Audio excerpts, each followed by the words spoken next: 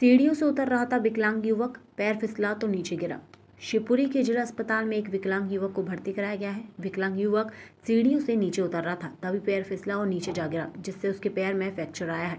जानकारी के अनुसार नार सिंह बाथम पुत्र बच्चू आतम उम्र तीस साल निवासी ग्राम टोका थाना सिरसोत ने बताया कि वह अपने घर पर सीढ़ियों से नीचे उतर रहा था और वे विकलांग है।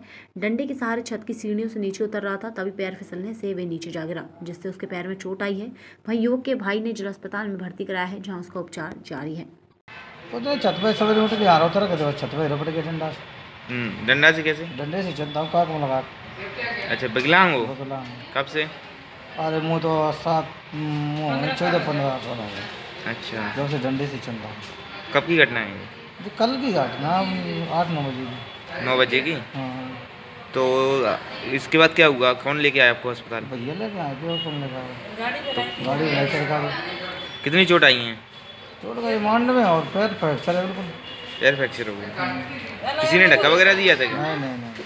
पैर में आप बता रहे हैं विकलांग है तो विकलांग के पहले से ही थे क्या आप? हाँ पहले से ही साहब दस पंद्रह साल से क्या कुछ घटना घटी थी आप नहीं और कुछ नहीं है मेरे पास ठीक।